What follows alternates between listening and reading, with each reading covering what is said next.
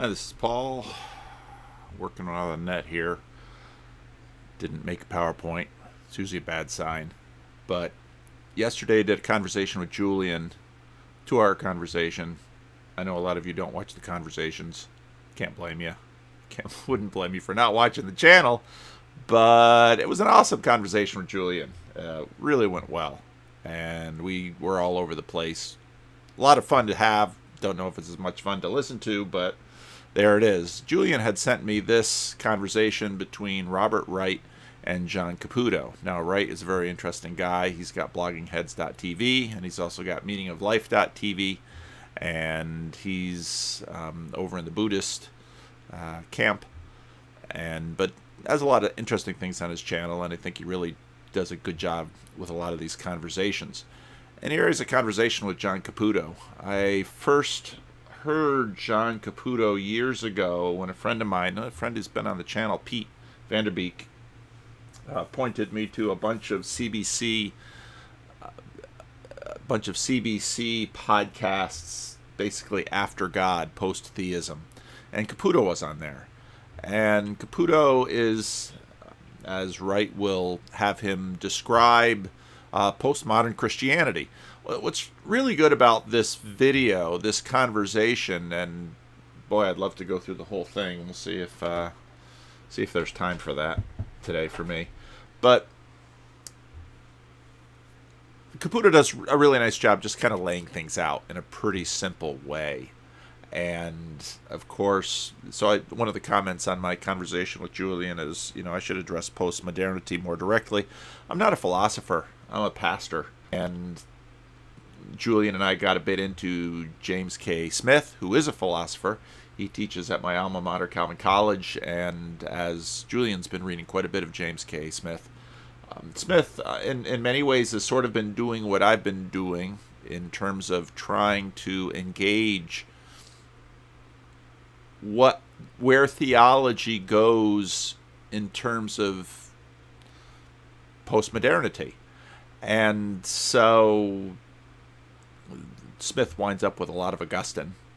Uh, Vervaeke knows Augustine quite well, and, and after Smith talked at Rebel Wisdom, I think I think of Vervaeke, I think of Vervaeke, James K. Smith conversation would be good if James would have a good understanding of what Vervaeke is doing. Part of the problem of so many academic or celebrity conver- or especially celebrity academic conversations on the internet is that when the two parties don't know each other's work, it's usually just kind of like these political debates. It's a side by side lecture where there's some tangential meeting and and they can't really get into the issues.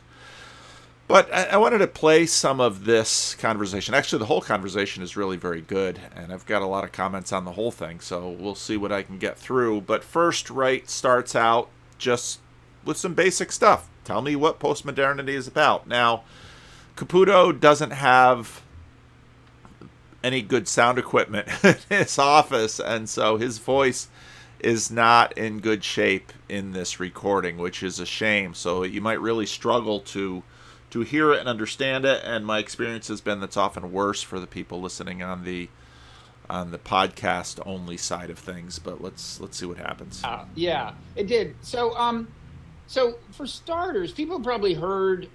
I mean, lately postmodernism has been in the news because people like Jordan Peterson condemn it as uh, being what's wrong with America and the I should do a sound check.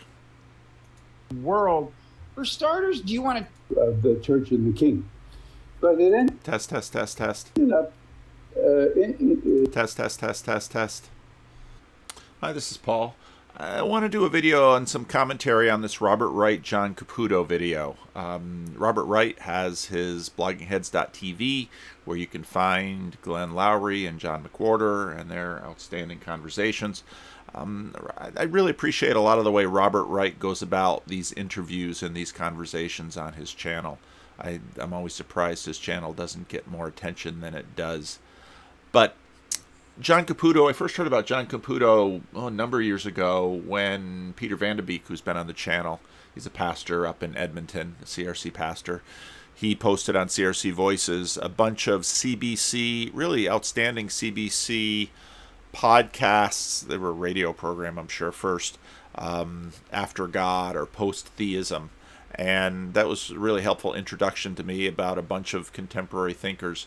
If you're a minister and a conservative denomination, moderate denomination like the Christian Reformed Church, you don't read a lot of contemporary theology often because especially if you're a pastor because contemporary theology may or may not be helping people the way a lot of people especially in churches want to be helped.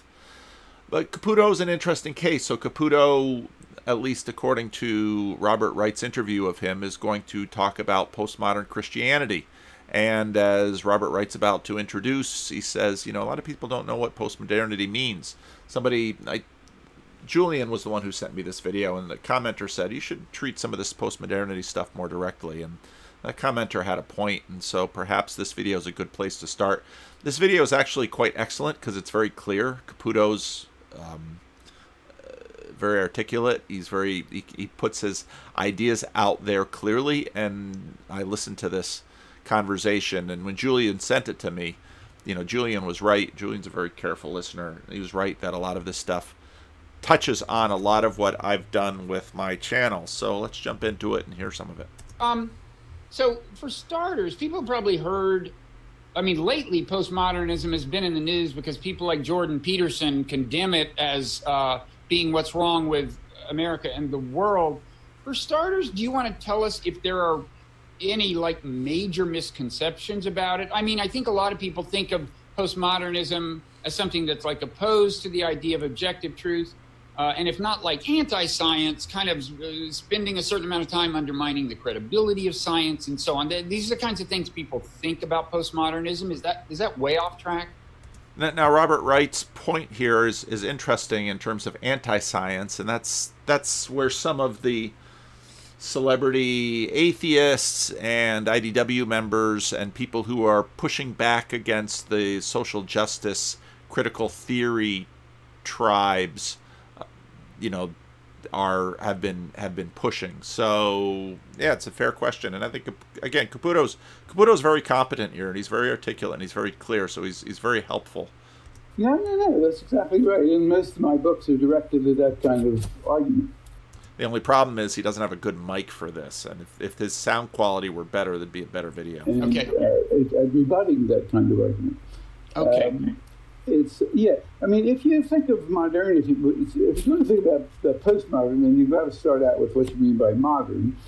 And um, the, the sort of paradigm of modernity is uh, an ideal of pure objectivity, absolute certitude, uh, overarching ahistorical truth with a capital T.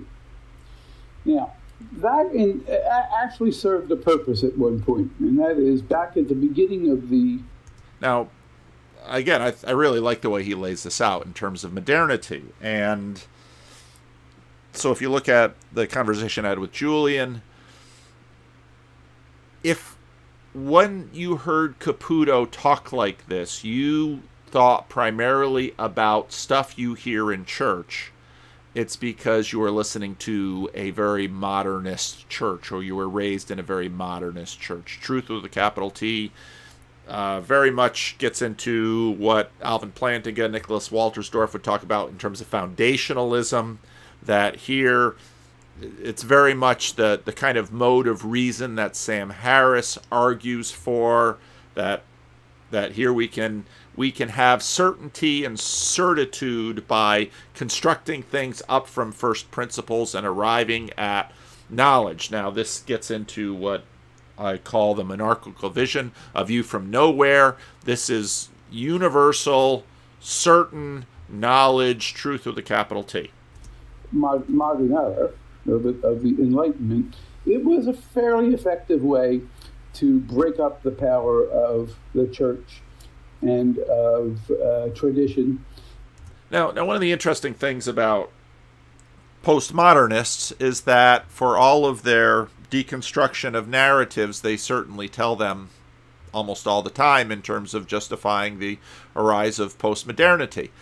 And what he talks about here, I talked a little bit with Julian about it in the conversation, that I've talked about this quite a bit in my earlier videos when I was going through a bunch of Jordan Peterson stuff, that the Protestant Reformation begins to undermine the the kind of cozy monopoly of power that certain regimes in conjunction with the Roman Catholic Church had in Western Europe. There's there's no question about that. And people went looking for a new certainty and a new basis for unity. This the story is often told in a rather abstract way about knowledge as an abstract thing, but it's it's also as much a story about about society in terms of how to have a unified society and the institution of the Roman Catholic Church in Western Europe was providing that was attempting to provide that kind of uniformity in terms of an authority structure. Now, looking back on it, it might look terrifically monolithic. If you actually read history from the time, it's a whole, whole lot messier at the time. And so the Enlightenment comes and, and basically begins in a very in a very significant way to challenge the thought assumptions and authority structures that had been prevailing in Europe. As I mentioned to Julian, if you read, there's really a there's really an excellent in the Great Courses series. There's an excellent course on thoughts on capitalism. And one of the things that I picked up in there is you look at someone like Voltaire, who begins to notice that the the Muslim merchant and the Calvinist merchant and the Roman Catholic merchant and the Jewish merchant, you know, all of these groups might have their and the Lutheran might have their wars, but when they're when they're conducting commerce on the dock, they can all get along. And and this is where you have the rise of the secular space. And and and partly because it's it arises in this space, its deep connection with Christianity, which is what Tom Holland has been noticing in his books and I uh, hopefully I'll remember to include a link to a an article that recently is out in Mere Orthodoxy by Peter Leithart on the work of John Milbank and radical orthodoxy. Again, something that Julian and I talked about in our conversation. That that's that secularity became an alternate became an alternate church, as it were but not so much an institutional church, but an organic church. Uh, there grew a society and some institutional societies of reason and thought based not on revealed text and scriptures. Remember in the in the Renaissance, you had this this turn towards the text and all the excitement about rediscovering Greek and Latin and of course, Aristotle had been had been worked into theology by Thomas Aquinas. Well, there's this this turn from the text after the Reformation as Luther clearly demonstrated that the Protestants were not going to create a new monolithic structure to rival the Roman Catholic Church in its ability to create a coherent, um, organic, and institutional home for the people of Europe. And so now, on the basis of you know the the, the Enlightenment is always split between the empiricists and the rationalists. That these two sources of empiricism and rationalism now perhaps could be the basis of a new unity. And, and we might argue that this, this unity doesn't really come about. These things take hundreds of years to develop. But, but the new institution that, that we find in our, in our contemporary period, the new institution that would arise would, would likely be the the university, um, untethered from its Christian, the umbilical cord to the church being severed in the 19th century, a la Darwin and many others. So the it isn't until really the 19th and the, really the 20th century until the the the university as institution replaces the church as the source of the kind of let's say competent secular I want to say wisdom, but if I say wisdom, I mean it in the Hebrew sense, by which the nation can be run, by which life can be put together. Okay? So, this is where, when I just kind of go freestyling here without, um, without uh, a plan or a PowerPoint, things can things can tend to wander. But the story that John Caputo starts talking about here really culminates in, and, and especially after the Cold War. George Marsden wrote a really fine book. Um, I guess it won a Bancroft Award or something. I don't know that award, but a really fine book, The Twilight of the American Enlightenment. And if you combine that with his other book about the um, basically the the secularization of the American universities, you, you get a pretty clear picture of what Caputo is saying here about, well, the Enlightenment sort of replaces the the dominant agreement and institutions of the church based on the written word and the the enlightenment and and a scientific approach to the world takes to heads to the front of the line. And paved the way for modern emancipated thinking. emancipated thinking, emancipated from what exactly? Well, emancipated from the doctrines and dogmas and uh, institutions of the church. Now, you didn't need to look at a book, you could look at nature and apply reason, as opposed to, say, Luther's imaginings, which would be applying reason to the Bible, and and you can discern.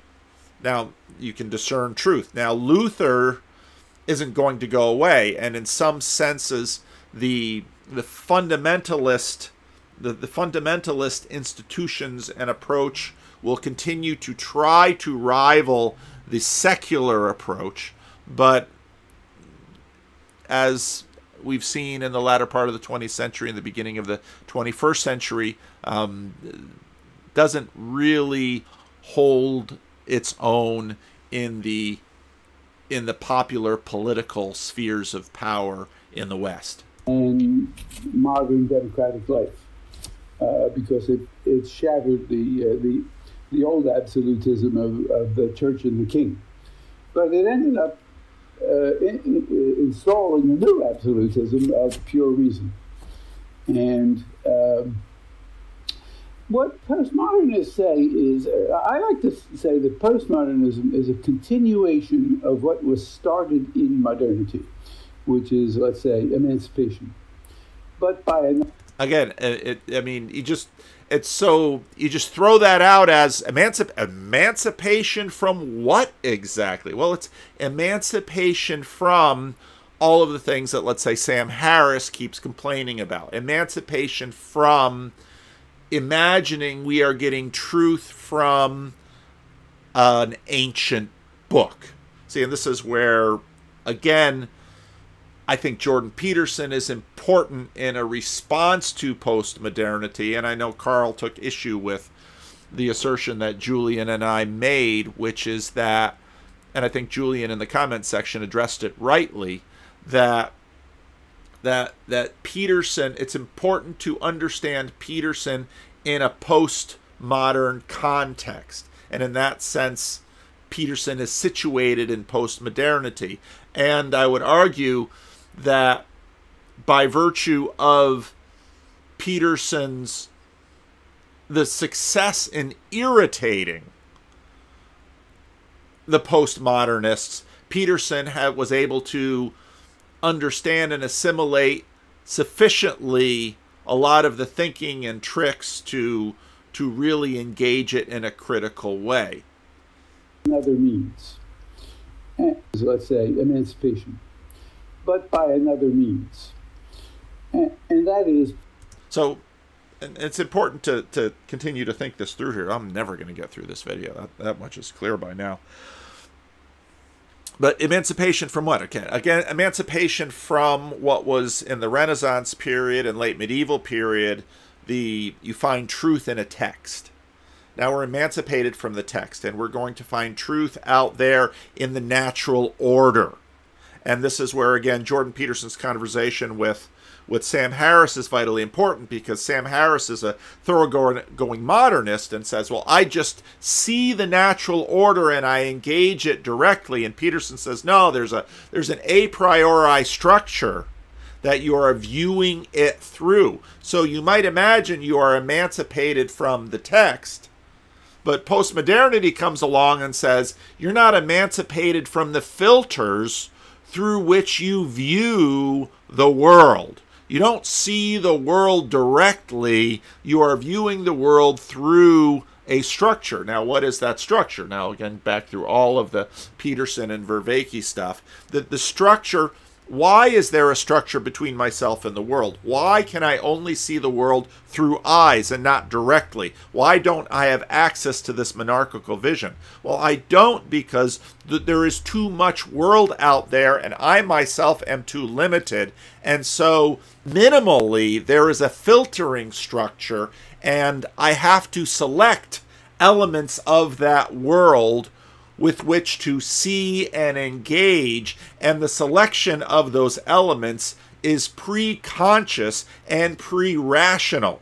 So we might be emancipated from the text, but we are not emancipated from the self, which is of which my conscious chooser is just a tiny part. There are parts of me that are doing all sorts of choosing and sorting and pre filtering, and then all of that choosing and sorting and pre-filtering is going to get worked into the ways that I now exert power and control and narratives into the world. Uh, eventually, at a certain point, we got to see that uh, tr- truth, truth doesn't drop out of the sky, either sent either by God or by pure reason. Okay, so truth doesn't drop out of the sky. Now, quite literally, and this is where I've often engaged people with respect to how Sam Harris is, is, is simply not being fair to huge parts of the church that imagine something like organic inspiration as opposed to mechanical inspiration, where you've got ideas of of in Mormonism, for example, the translation of the Book of Mormon, or you've got ideas of Muhammad and the Quran, whereas in Christianity, the Word of God are all written by human beings. And God works through the culture and the times and the person to arrive at the Bible. Okay, that's a that's a that's a way of understanding the text from an inspiration from a, a posture of organic inspiration. Truth is something that we we discover in the concrete in ambiguous situations in which um, what we mean by truth is the best interpretation available at the moment, keeping our fingers crossed, hoping it gets us through the day, knowing that tomorrow morning things may change. Okay.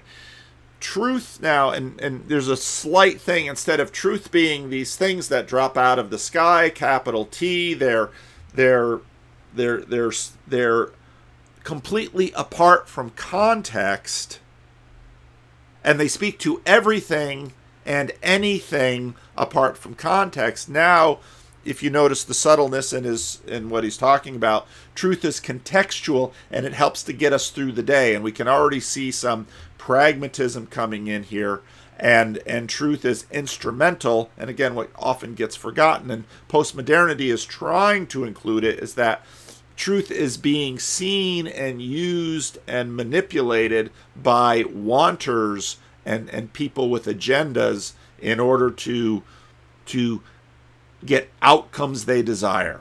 Now, I think that part is compatible with science as a lot of people see science, right? You, you, all you ever know is that you've got the most effective theory for the time being. That's right. I mean, in, in no small part, postmodern theory developed out of people working in the philosophy of science who, who saw that real science in practice is not with the absolutistic illusion that we think it is. It is very much bound by instincts, by intuitions. When now, what he's saying here is really important because he seems later in the video to forget what he's saying here. When scientific ideas break through, they are at that moment unlikely. They're implausible, they're held in suspicion, they're doubted, they're ridiculed, and all the weight of evidence is on the old idea, the what what Kuhn called Thomas Kuhn called the old paradigm. So what happens is this this expression paradigm shifts is that frameworks change and they at the moment of change, at the moment of crisis, they look highly implausible. And it's only because of the, uh, uh, the resoluteness and the ingenuity and the creativity of the authors of the new paradigm that they succeed. So, the, one of the more important predecessor figures of postmodernism is Thomas Kuhn, who wrote The Structure of Scientific Revolutions, who said, look, instead of philosophizing about science, study the actual history of science, and you'll discover that it is a lot of very concrete work on the ground, a lot of uh, seat of the pants thinking, which um, is very human, very, and he compared it to a political revolution. Right, and he also. And and now, seat of the pants thinking is a very interesting turn of phrase in this because again, and this will get into some of the Vervaeke stuff that there's insight and and and so then you've got flow states and process and you're trying to get at all of that. I want, I want to put in a plug for this video. This is on Karen Karen's channel, The Meaning Code. Karen's channel is a small channel, and I've had a couple of conversations with Karen. I've had a couple of conversations with Michael here too, and and, and this this conversation I think actually bears quite a bit um, in common.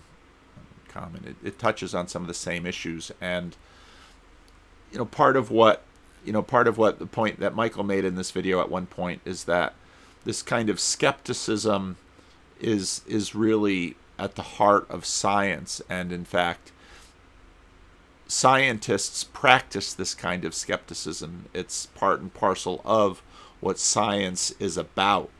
And so, you know, I just want to emphasize the point that Caputo was making that Thomas Kuhn comes along with the structures of scientific revolutions and demonstrates that science is not just this thing out there but is actually a human activity and human beings have their fingerprints all over science.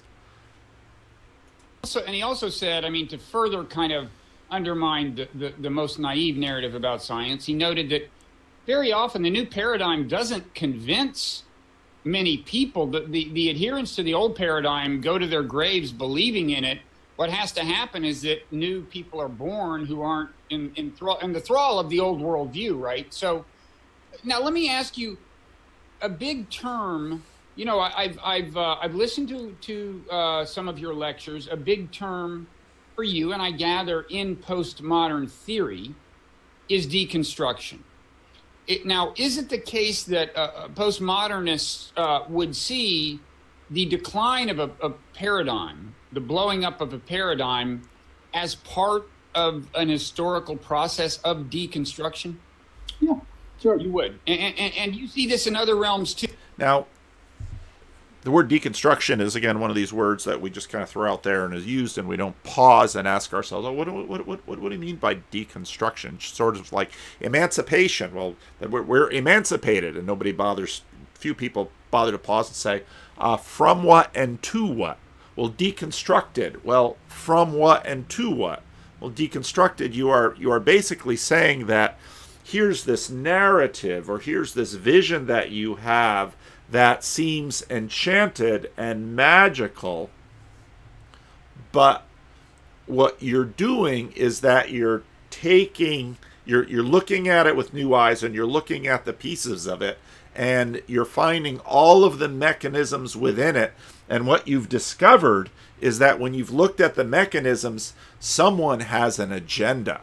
Now, now this is really interesting because the you're going from an enchanted perspective where this is this is truth with a capital of T. This thing has dropped down from heaven. This is not only the way things are, these are the way things are on purpose. These are the, we, the way things are supposed to be. And now you've said, well, let's deconstruct it. Now there's all these little operations beneath that we can say, oh, the the end piece looks enchanted, sort of like a piece of technology, like a like an iPhone, let's say, but underneath it's really little bits.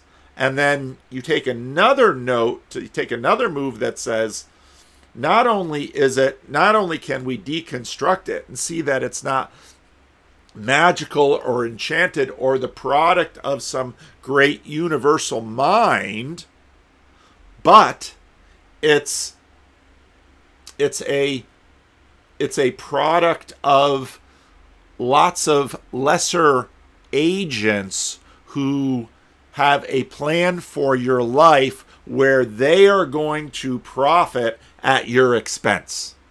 And so that's that has become all part of this deconstruction motif that figures prominently in postmodernity. Too right, you in in art, uh, a, a prevailing art paradigm will get deconstructed and give way to something else. And that's one of the markers. That, that's exactly right. And and one of the things that happens in postmodern theory is instead of dividing things into the humanities and the sciences, you you replace that distinction with a distinction between normal science or the reigning paradigm and the revolutionary way. And, see, it's right here at this move where before we were talking about the history of science, and suddenly we're talking about politics. Now suddenly, and this is brings us back to Robert Wright's initial point.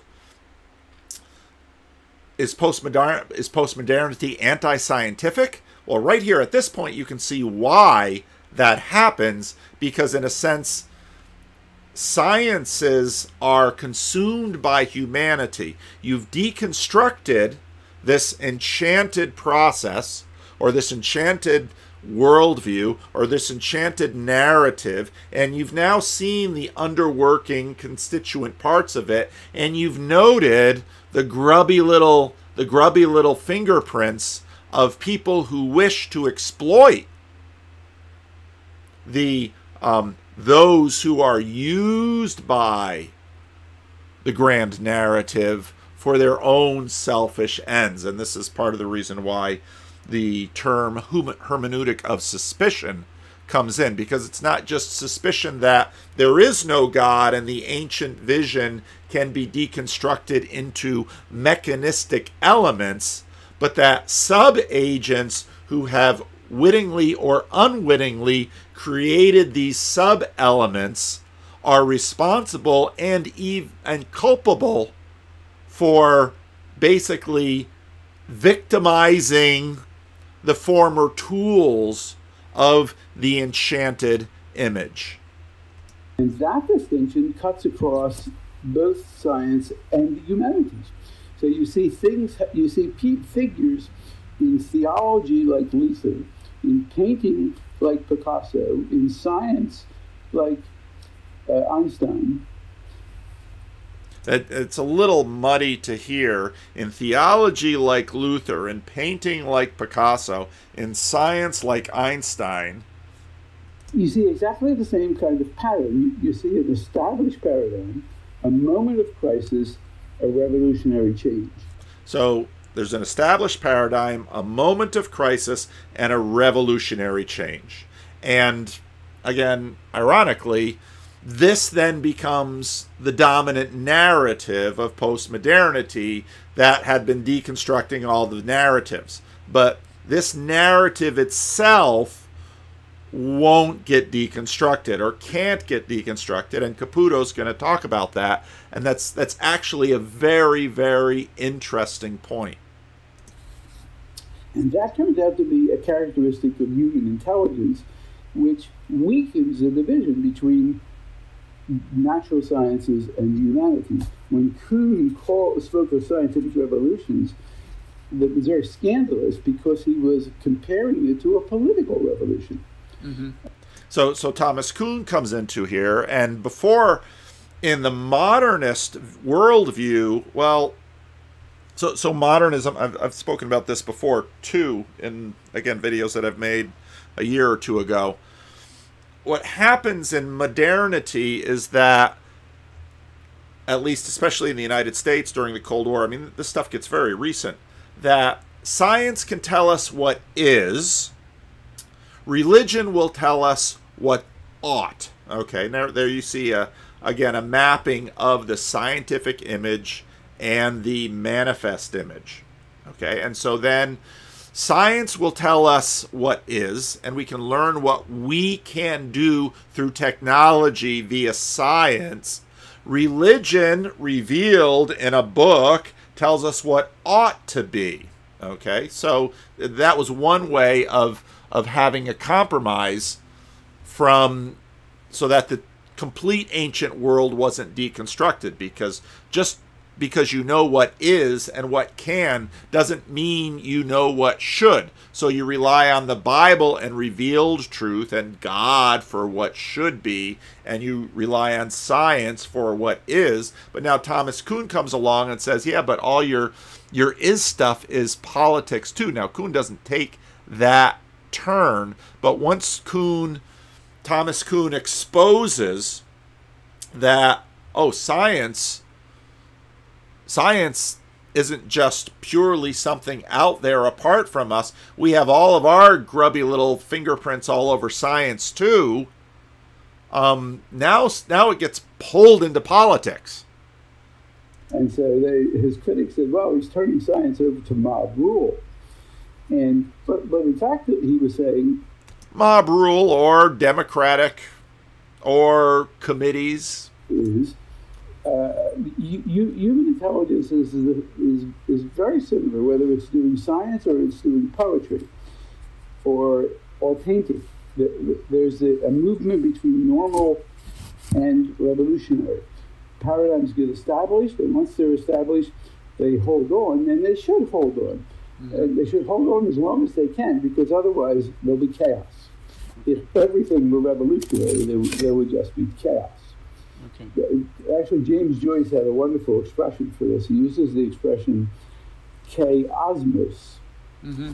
So you have a moment, a moment of chaos, but it's only a moment. It's a moment in uh, of disruption of the of the order of the cosmos, and that chaosmic moment is what's creative. If there were only order, there would never be any progress. If there were only chaos, there would be only chaos. And so, you know, modernism likes to think like that. It likes to weaken these oppositional categories. Mm-hmm. Um, it likes to think in terms of insight. Um, it, it weakens the notion of method and strengthens the notion of insight and creative breakthrough. Um, and this is, and so there's always a certain amount of questioning. Mm-hmm. So deconstruction is just one version of this. There are various versions of it. The, the one I like is deconstruction. It's the one that's most congenial to me. And that's saying every whatever has been constructed is deconstructible. To be deconstructible is not to simply destroy something or to or to uh, denounce its, its value, but it's to, it's to claim its reformability. It's like a. Okay, now that's a crucial thing. It's deconstruction claims its reformability, but there's also a revelatory moment of insight in there that oh, I thought that the way things were and the processes that yield out, I thought this was God's will, now I see that this is only the product of human beings, of, of plastic moldable human beings. And so, with the, the critical theory promoters out there, well, if this is only the product of human beings, if human beings made it, then we as human beings can remake it according to, and I'm jumping ahead in his conversation, a more just situation. Now, anybody who's looked at this long enough can anticipate the next move to say, now, wait a minute. We've learned the deconstruction process, and we've learned that this supposedly magical, enchanted vision of the world was just constructed by human beings and so therefore can be reconstructed by human beings and the human beings that constructed this had grubby little dirty hands th- that were contaminated by their own desires for their own advantages and the maintenance of their own power as compared to other persons, what makes you so pure that you can reconstruct a world that is more just? Won't the reconstruction of the world that you promote have all of the same dirty little fingerprints of your individual agendas, known or unknown? What makes you a safe person? And and people will there's often a there's often a an insinuation, it's seldom articulated that well, I'm a safe person because I have been a victim. Oh. Well, that sounds lovely. But what that's premised on is the assumption that people are basically good and when people that that the people who have victimized others have done so in ignorance that they didn't know they were going to hurt anyone and and so now since i have been the victim of someone else and because people don't willingly hurt other people then i will then be able to be in charge and i will be the benevolent system creator that will create a system which will which will finally bring justice. Now, anybody who's actually worked with human beings should be aware of the fact that this too is a story and it's a story that doesn't really work very well and there's all kinds of sayings such as hurt people hurt people that people who have been constructed people have been victims by certain things often have, wittingly or unwittingly, within them the the means to get even and try and undo that. The the parent, the child of a controlling parent sometimes is overindulgent. And then the child of the overindulgent um, parent sometimes becomes controlling. And what you see with human beings is usually a, a back and forth between you know between poles of of of a whole variety of areas trying to get things right. First, they weren't controlling enough. Now they're too controlling, and generation by generation, back and forth, back and forth. Each time victimizing another generation, never actually finding justice in the midst. It's just the repetition of of new and different things. But his point now is once we see that the world that we have is not just floated down from the sky, is not the product of some god, is not not the product of of some of some whole um, that some omnipresent, omniscient, benevolent monarch, but it is just the product of accident and chance and people with grubby little interests. Well, we, of course, will do better than our ancestors. There's a lot of chronological snobbery that gets loaded into this thing too, we will do better than our ancestors and we will now suddenly get the system right because all situations have been constructed. Law is one of the better examples, actually, of it. A, a law, if a law is not appealable and repealable, it becomes a monster. And that's true in art, it's true in science, it's true in religion, it's true in jurisprudence, it's true, period. if a law is not repealable, and again, the let's watch the subtext, uh, repealable by us, then that law becomes a monster. Now, what about the laws of physics? Do does that law? because what you know, if you're paying attention, he's just said a law. Is that law true of itself? Will will this law become a monster? If something is not dynamic, if it's not reformable, if it's not able to reinvent itself, it becomes a monster. Mm-hmm. So the theory. Now, again, if you listen to Sam Harris, Sam Harris will say almost this identical thing to Jordan Peterson in the debates. That and and Matt Dillahunty actually makes the point more clearly and more often that our hope is that all of these things are see it's in this way that even modernists like Sam Harris and Matt Dillahunty these ideas once they get into us uh, we we we can't help but wield them. And so you find modernists implementing these these postmodern arguments in the cause of their modernism because it's a powerful argument. The difficulty is that there's an assumption deep in the argument that people mean well and people will do the right thing. It's like, well, sometimes people mean well and sometimes people do the right thing, but but don't forget that built into this whole thing is already a hermeneutic of suspicion that says, eh, I'm not so sure. And there's chronological snobbery that says, well, ancient people were ignorant, modern people know more, so we'll do better. Can you really demonstrate that one or give an argument for that one? Well, they say, sure, look at the technology that we have. The difficulty, of course, that you have is what yardstick for better will you employ to make the argument against whether life is better today or yesterday? deconstruction is a theory of protecting us against monsters. And, and, the other thing to remember about this word deconstruction is that um, the, the, notion of, of the deconstructible implies, by definition, really, the notion of what's undeconstructible. So that there's always a certain kind of aspiration or hope for what we're what we're trying to do, what we're trying to get done. What?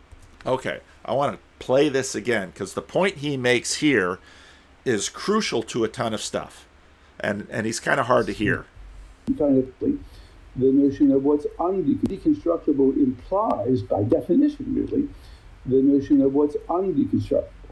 So the notion of that, well, this this this world that we've been born into and inherited, we learn that this is deconstructible. That implies that there might be out there something which is undeconstructible. Because, well, modernism doesn't fully go away. It gets subsumed. And what happens with subsumption is that yeah, I know it sounds terribly Hegelian here, but what happens with subsumption is that modernism doesn't really completely go away. It just gets built on. Another layer comes up on it. So that there's always a certain kind of aspiration or hope. There's always a certain kind of aspiration or hurt. All right. And both of them are vitally important because people, these are the motivations within people that move them to action. And there's an aspiration. You see a goal out there. a little while later, they're going to talk about telos. There's a goal out there. There's something out there desired that they wish to attain, or at least have the community to attain. Or there's a hurt that needs to be addressed. There's redress that is that needs to come into the system. And so you have the deconstructible and you have the undeconstructible. And, well, if you're paying attention now, the aspiration or the hurt are going to become the undeconstructible. For what we're what we're trying to do, what we're trying to get done, what's going on. Well, and, and, that can't be held captive by the present. Right.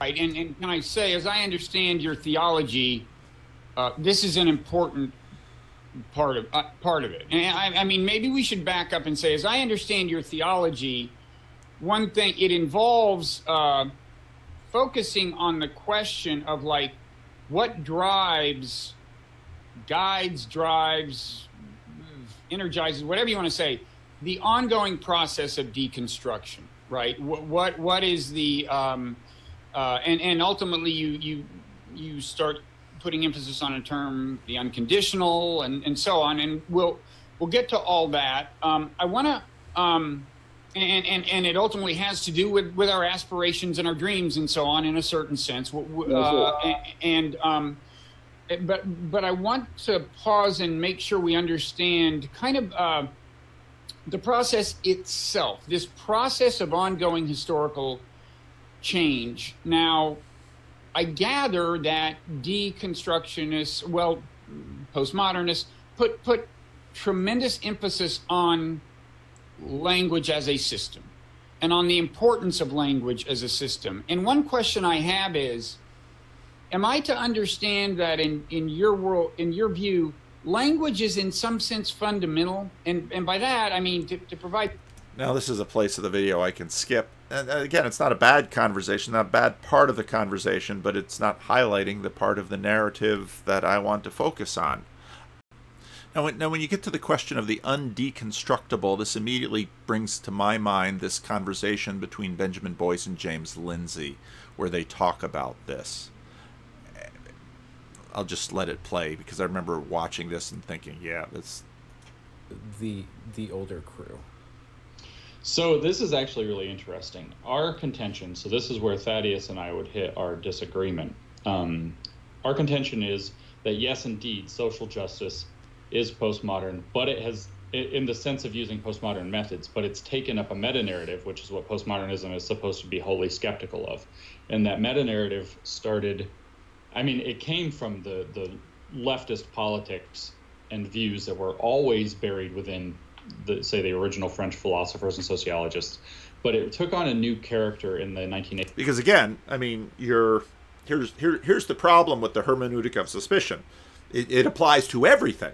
And so you have this vision by the French philosophers who say, "Ah, wait a minute, there there are dirty fingerprints all over this thing too."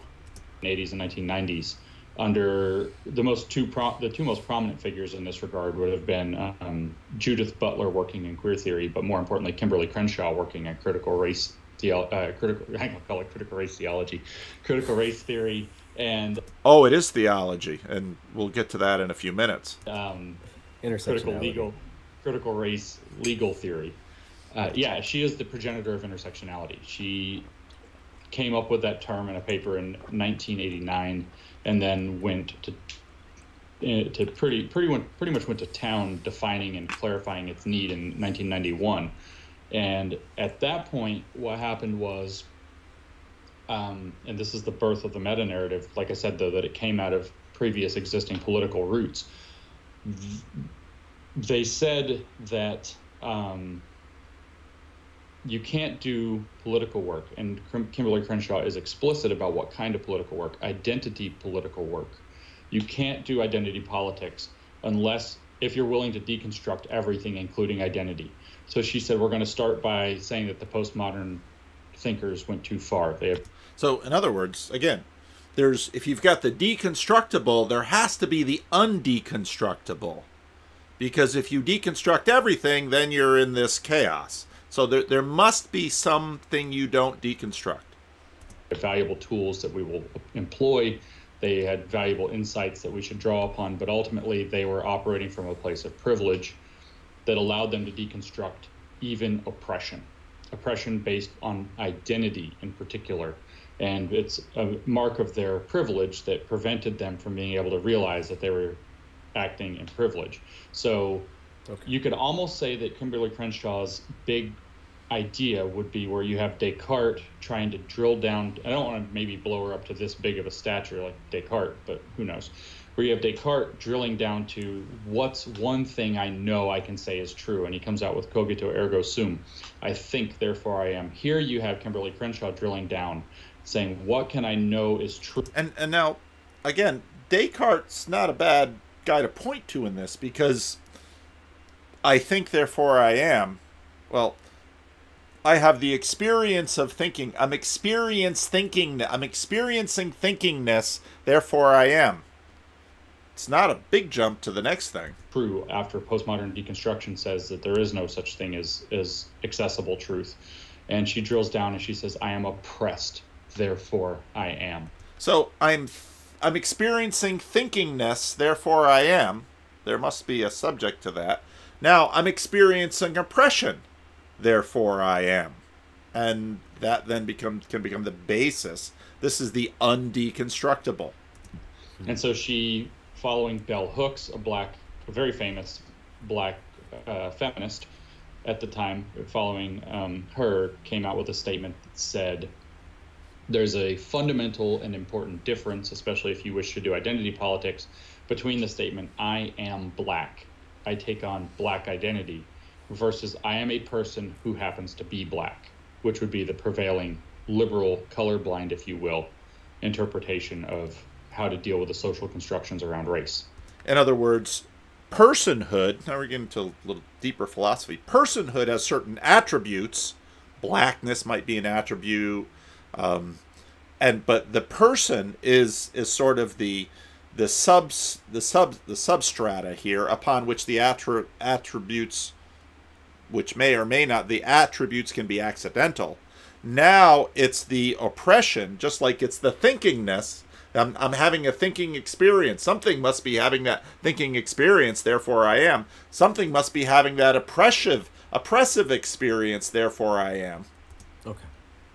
So that amness uh, then provides you uh, an anchor in this postmodern world. So the postmodern world is everything's constantly being deconstructed. We're in a sea of chaos, and everything that we assemble out of that is uh, is tentative at best. Uh, whereas this is trying to say or, or reserve one space or one access to objective reality which is, I guess, the cornerstone. All- now, objective, one access to that which can't be deconstructed. Whether you can find it as an object, I'm going to find the experience of depression as an object, or I can bear witness to it, but, you know, eh, I'm looking around for my experience of, depre- of, of oppression. Did I leave it in a drawer someplace? It's not an object. Also, of subjective experience being one's identity. And insofar Yes. as one's identity is oppressed, that magnifies that identity, that makes that identity more real than other identities. Would you would you say that that's fair? In a That way? is, yeah, that's fair. That's correct. It also makes it more salient and something that people need to pay more attention to and focus upon. Okay, so they talked about language a bit there, and I skipped some of that just for the sake of um, not having to have Carl freak out too much over Wittgenstein. Um, back, back, back, back to history here, and some other topics that we've been playing around with on our channel. back to uh, the religious aspect of your worldview, uh, this idea of like uh, postmodern um, Christianity. Uh, the uh, so a question arises again. Um, well, let's look at the the question that arises in traditional Christianity and biblical Christianity. You know, history is happening. These stuff happens. What is guiding it? What is the point? What is the you know? Is, is it being uh, is it being drawn teleologically to some future? Uh, was there a prime mover that set it in motion, or both the case? Did the and Christianity's in, in traditional Christianity's, I would say biblical Christianity's idea is both are yes. There was a prime mover who set it in motion with an end in mind. So there is a purpose to history. It's heading somewhere intelligible, and there's a reason.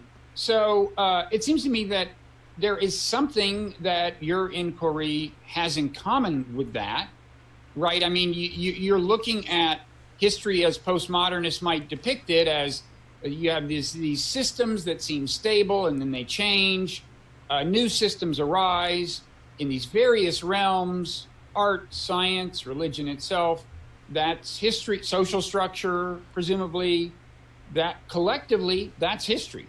And I think you're asking the question: Well, what is what is guiding or drawing or inspiring the process of deconstruction right because deconstruction is the process of history as you see it it's systems continue to get deconstructed, new ones arise, then they get deconstructed. And then you, It's very we're getting very Hegelian here. you want to ask the question, what is the what's beneath the deconstruction more fundamentally? What guides, inspires, whatever, energizes?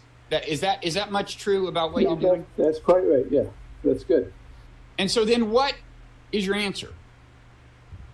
My answer is I, I, I like this expression which you used uh, earlier on the notion of something unconditional.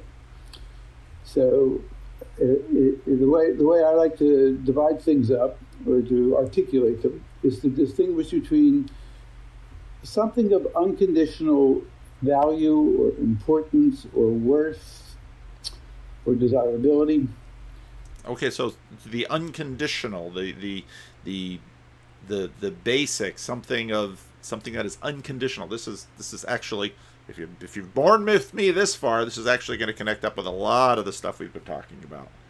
and the conditional forms in which it's enacted. So there's something unconditional beneath, and then there's conditional forms in which it's enacted. Okay, but the the the the presence of the unconditional is fundamental here. or constructed.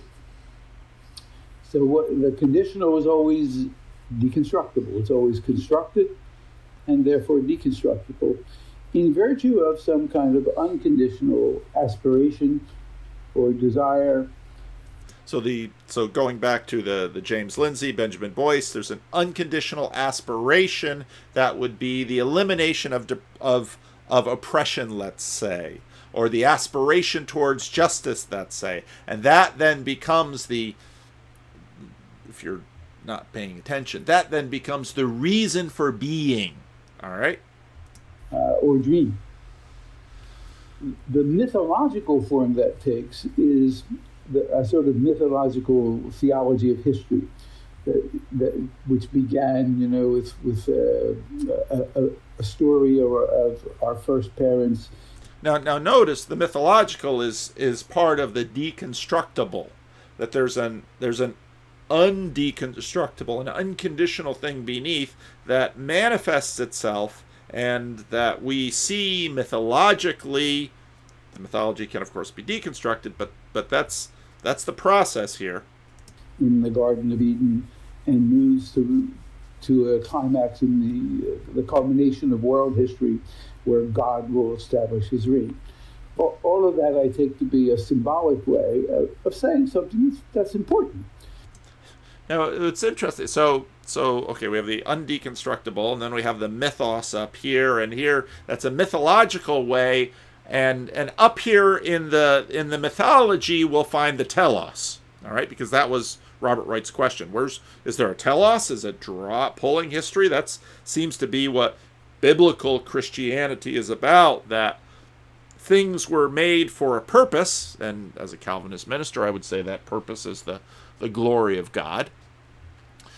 And and that and so history is then pulled by the gravity of the telos towards its purpose, and it will get there inexorably. It will it will get there eventually. It, it cannot help but get there at some point. And myself being a traditional Christian, I would say that's how Christianity works. And so but now we've got sort of a new story about how this happens, that they've got the the un the unconditional down here and manifests in the mythos, and here in the mythos that's where you'll find the telos. But something that would be uh, diminished if you literalized it. You would Ah, here's this word literal. If you literalized it, what do you mean? Well, well, what do you mean by that word literal? Because the problem, you know, it, it's so funny because in many of these conversations, you've got the word literal and you've got the word um, metaphorical or mythological. And the problem is on the mythological sign, everyone asserts. The literal sign, we all know what we mean. And I would assert it's completely the opposite. That the mythological is actually based on the arguments that you've been creating about human beings' work. That, so let's use the manifest scientific image. Dualism here. You've got the manifest image, you've got the scientific image. Which one is literal? Well, you'd say the scientific image is literal, and the manifest image is mythological. Mythology belongs in the manifest image. That's where we have desire and telos and all of these things. That all belongs in the in the meta, in the manifest image, and the, the the literal belongs in the scientific image. Well, here's our problem. There's no clean room, okay, and and there's no there's no accessing the scientific image in and of itself, and this is where again we once we see these postmodern arguments, we're all a little bit postmodern. The we've got dirty fingerprints on our postmodernity too, and and so we talk like, well, they take their mythology literally, and the problem is that they're confusing they're confusing the two, and yeah, that is a problem. Sometimes that is a problem. I think the bigger problem is that you don't really understand what science is and and this is this is the point postmodernity has been making. And if you're going to be a postmodern christian you can't really go back and say oh they're taking it literal because there is no literal. Thomas kuhn's been here. Your science is politics. All you have is metaphorical truth that's what you've got, except for this, this thing that won't be deconstructed. And guess we're going to have a three-letter word that's going to that's going to be very useful for talking about this thing that can't be deconstructed. That will be your it's kind of like dog but with the letters switched. I know people get afraid of dogs, but that's where we're going you would have turned it into uh, a kind of fable or fairy tale or superstitious bit of magic. So much pejorative stuff in there for a postmodernist. But, but I see, see, this is where, this is where some postmoderns aren't postmodern enough or too modern in their postmodernism. I could to be saying something that's that's interesting and important if you read it well if you interpret it properly. Interesting and important, but kind of like I don't know. Is it interesting and important in the way that oh well here's a here's a here's a nice little well, let me not enough uh, here's a nice little fictional story about um, I don't know uh, I can't think of a single fictional book here in, um, in my mind here's a nice little fictional story about a little girl and her brother or something like that where I can learn truths of the universe in it. Or is a sign on the beach saying that there's a great white shark eating people. Is that a a little fic no that one's literal. Oh. Well what do you mean by that? What what isn't is that see see right away these things don't quite hold together. And don't literalize it. So I'm trying to say there's something. Don't literalize it. Uh, something important going on in religion that um, we, we, sort of have to protect religion from itself. You know, we have to protect religion from literalizing and absolutizing. See, but but here's the thing: modernity came along and did that, and and this was modernity's trick. So you have to protect religion from modernity. That's that's kind of what you're saying.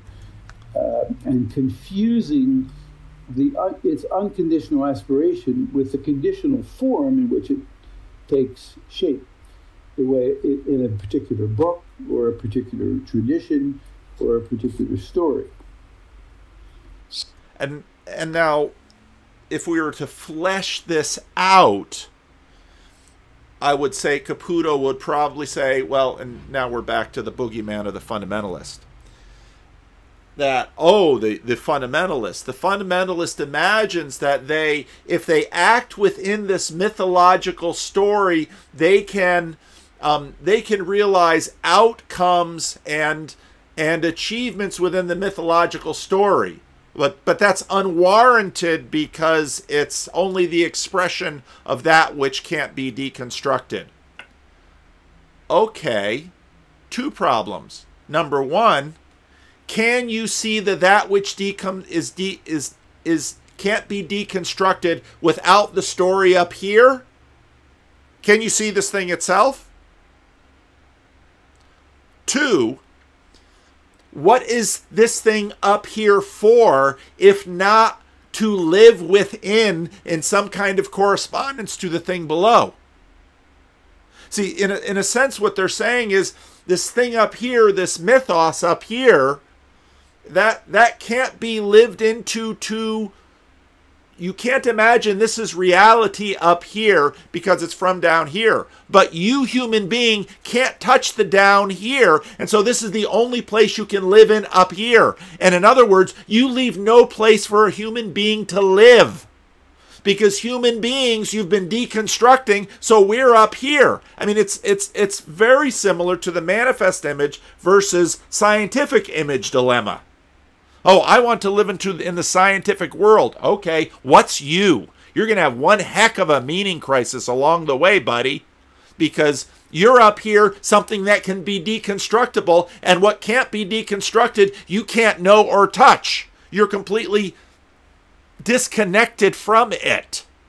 Oh, those fundamentalists, they're they're taking this stuff too literally. Okay, what world do you leave for them to live in? Which is exactly the point that Jordan Peterson makes. That okay, so you're beating up on the you're beating up on the fundamentalists. What world do you want them to live in? And the truth is, you just have a different world that's just like their world. You don't have the world that can't be deconstructed because you're deconstructing everything and you're asserting that we look around and we find justice and we can deconstruct that and reconstruct it. Okay, again, back to my Brett Weinstein. Who's we? Because we're all up in here. We're not down here. And th- th- this this is this is okay, let me deconstruct this move. It's just cruel. And that's exactly the point Jordan Peterson made about the fundamentalists over at Lafayette College when he said, you know, okay, fair enough. Science has been deconstructing this for for for the fundamentalists, and you're taking away their worldview and you're not giving them anything else. No, we're gonna give them justice. Really? Because you're not you're not seeing their oppression and suffering in the moves you've just made. And you can't argue against their oppression because they're feeling it just as much as all these other special groups that you sanction their oppression. And the system itself that differentiates they they are I am because I'm uh, feeling oppressive oppression now. There's there's no framework with which to differentiate them. So what um so i mean i know you you you, you wind up saying that like uh if if you if you ask uh you know the unconditional i think is your answer to what what kind of motivates or draws uh this process of deconstruction and, and so uh, I think immediately people are going to ask, uh, before we ask you to elaborate a little on what you mean by the unconditional, and here I think things will get challenging probably because you're getting to a pretty fundamental metaphysical level. But I, I, I think people will ask, so are you equating the unconditional with God, with the divine? It, it, does this correspond to what in, in uh, biblical Christian, traditional Christianity is just called God? In religion, the unconditional goes under the name of God. Okay. So that. So, the, so, so God is the unconditional, but the unconditional is not God because the unconditional is operative wherever human beings are trying to be human, wherever they're, wherever they have desires and aspirations. And even when they're not, I'd add. But go on. Uh, which may or may not include the notion of God. The notion of God is the, way the word, the, the way the uncon- what I call the unconditional shows up in religion. Now, now again, you get back to the James Lindsay piece, and well, your experience of oppression is your God. That's the unconditional, and the unconditional, which has to be manifest then in a mythos, in the manifest image, and and therefore this will shape the structures with which you will inhabit and pursue justice. Okay, I'm zipping ahead to further in the conversation, but that's where we're going. Is God. And, and in the monotheistic, even then, you have to restrict it to the monotheistic religions. Uh, because there are there are traditions that we call religion in our Christian Latin word religion. We call them religion. That you know don't even ha- don't have that word. They don't have any good translation for that word, and they don't use the notion of God, like Buddhism, for example, or they have many gods. Uh, and so, so they could things could be the, the, in the study of religion today. The word religion is put in scare quotes because it's a it's a Western Latin Christian. Primarily, the word itself is a Western Latin. So you better not use it. What what what what what words are you going to use? If you had a better word, wouldn't you trot it out right now? So, you you've used the word aspiration, um, or or you know dream, and and you're putting a lot of emphasis on on our our as I understand it, our aspirations. What are the things humans aspire to? What are the things they dream? And you seem to be associated. And again, I can't now listen to a remark like that and not hear John Gray in my ear. You know, humans this collective? Where does that idea come from? That with the unconditional, and I guess I have a couple of questions. One, are you saying that that that, that is a uh, that that's a manifestation of the the unconditional? In other words, is, is that you know to you to switch the terminology? Would you say that's a manifestation of the divine? That if if I have an aspiration, a dream, if I if I think about the future and want it to be a certain way, is that a that's a manifestation of the unconditional, or that's what drives the unconditional, or it's the other way around? The unconditional drives that. What what is the what is the relationship between the unconditional and and human aspiration? Uh, well, on the sub on the side of the subject, on the side of the desiring self, they're the same thing. But my, my deepest, most profound concerns as a uh, person. They're my God. Uh, is a matter of unconditional interest or concern or importance or value to me. Just like the person who's now their identity is their oppression, that becomes their God and then motivates the cloud, the mythology, the mythological cloud, the social expression, and all of these things.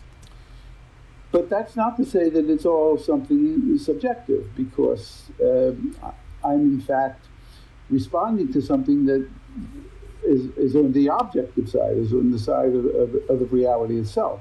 So there's an unconditional quali- quality in reality itself. There's an unconditional quality beyond my individual self in the, the social whole, the social good. And there's an unconditional quality about the universe, which gives it. Um, the, the, unconditional on the objective side is people. A lot of times people use the expression "there's something bigger than us." Okay, well that's the unconditional. That's that's this thing which was there before us and will be there long after us, which is uh, absolutely primordial one philosopher back in the 19th century, a German philosopher named Schelling, used a wonderful expression. He called it the unprethinkable. The, the thing that thought can never get behind, it can never get there. It, it got there first. And thinking is always sort of trying to uh, catch up to it. To, this is this this argument in some ways reminds me of the ontological argument. To, to get there. So on the objective side, there's something, uh, uh, uh, there's an unconditional reality that we'll never quite catch up to, which preceded thought.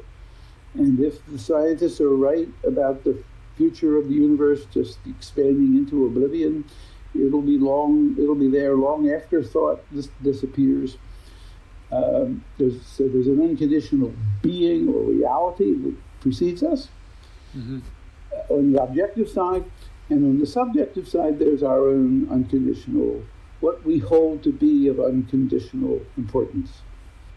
Now that that that little speech right there got pretty esoteric. Okay, so, so the unconditional is unconditional because its existence and nature are not conditioned on anything we do or even on anything that happens in the world we observe. Yeah, well, think of it like you know, it's sort of like the, the, the kids who, when, when the kids kids are growing up, they keep asking why, why, why, why, why. Well, the, ultimately, there's this thing which is without why, right? right. Which is the point. What what what it's, you care it, about. It's turtles so, all the way down until the unconditional, as the old. Uh, Sure, you, yeah. you hit a presupposition that you, you, just there's no answer. There's no. Uh, Aristotle says at one point, the mark of education. He uses the word paideia. We get we get pedagogue from that word. The mark of an educated person is to know when to stop asking questions. Mm-hmm. you, because you hit that point, which is so, is this related to what uh, the theologian uh, Paul Tillich called the ground of being? in, in, as I said at the beginning, I'm interested. I never quite could make up my mind whether I want to do theology or philosophy. Mm-hmm. The, the, theologian who makes the most sense to me is Paul Tillich. Yes. Mm-hmm. The, the philosopher who makes the most sense to me is this man Jacques Derrida, who formulated uh, what got to be known as deconstruction.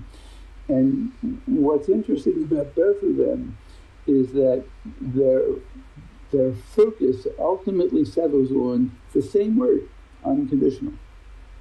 The difference being that in Tillich, this really is theology. He really thinks it's the ground of being, the unconditional is God. Whereas for Derrida, Derrida, you know, is a postmodern philosopher. He's not so sure that we know anything metaphysical, uh, but he thinks that the unconditional is something that uh, draws us, something that uh, lures us. But he's not prepared to say that it's God or the universe or anything else. You know, he doesn't. He doesn't know. Mm-hmm. That's an interesting point. Uh, whereas from that point of view, Tillich would be more like a modern thinker because he really thinks there's an ontological foundation for all this. Derrida as a postmodern who is a little wary of coming up with the big answers, doesn't know. Mm-hmm. But he, he, he thinks that we can, t- he thinks the notion of the unconditional is inescapable. Whether it's God or the universe or biology or whatever it is, he doesn't know. He can't, he can't say. But he does think that it's a feature of our, an indelible feature of our experience, mm-hmm. our so, encounter with the world.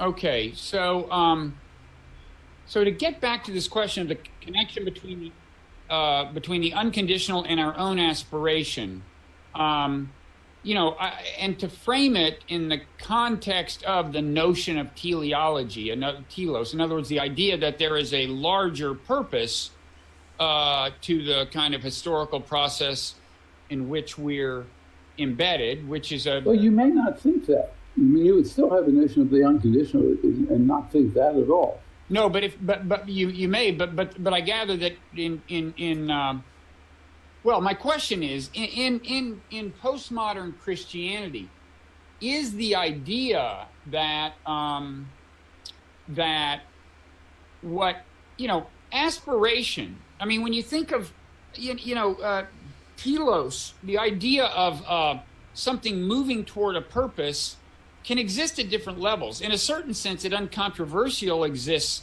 at a human level in the sense that we conceive of goals and we pursue them. So we imagine, you know, I imagine that I want to eat. Now, James K. Smith has been coming up more and more in my stuff, and I had a conversation with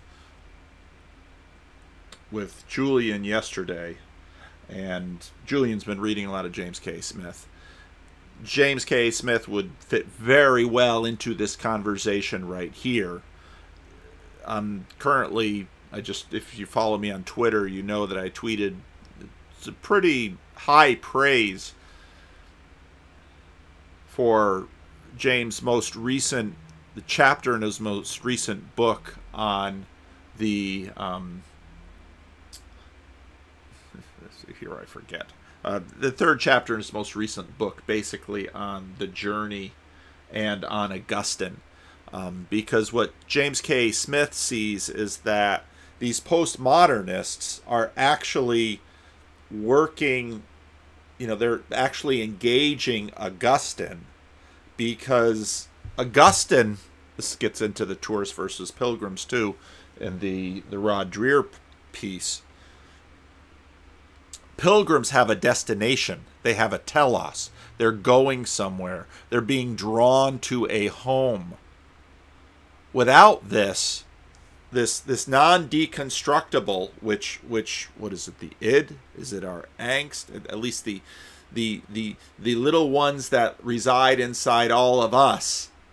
These they just they're simply wanters. Now I've been in my in my Sunday series, I've been working through the book of First Peter, and and First Peter, along with Paul and others in the New Testament, very much work on on this Greek word epithumia, which is over desires, and part of the framing of of a lot of arguments in the New Testament is that what destroys human beings, and, and, again, Stoics will, this won't be unfamiliar to people who are familiar with Stoicism, that we have these epithumias that, that, that destroy our lives, and and that what Christ does is now the Holy Spirit displaces these over desires that we have.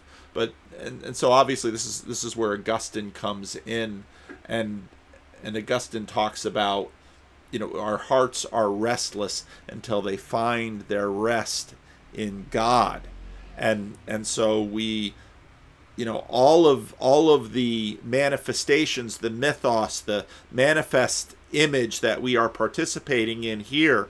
This is all restless until it finally comes into perfect communion with that which can't be reduced. And you'll have this a little bit later, and I might jump through some of this here because where John Caputo's postmodern Christianity will then focus on justice. Fair enough. And the vision of justice is that justice is a is a longing thing you know, we long for justice, and that's that's the rest we are looking for. Here's here's the chapter in in his book, um, a refugee spirituality, and and as I said with, if you're Julian's a pretty sharp guy, and and what's particularly impressive about Julian is he's not going to college. And I remember when I first met Julian a couple years ago, uh, James, who is our local meetup here and teaches at a junior college, basically, you know, basically said college doesn't deserve him. And not, not that there's a few things Julian couldn't learn at college, but Julian's been reading a lot of James K. Smith. And James K. Smith, when he was on Rebel Wisdom, you know, didn't have some very nice things to say about Jordan Peterson, who, of course, is a um, pretty important piece in the story of the uh, development of Rebel Wisdom and and what they're doing. But uh, for for Smith, he's Smith just did actually an article in World Magazine. Maybe I'll pick that up.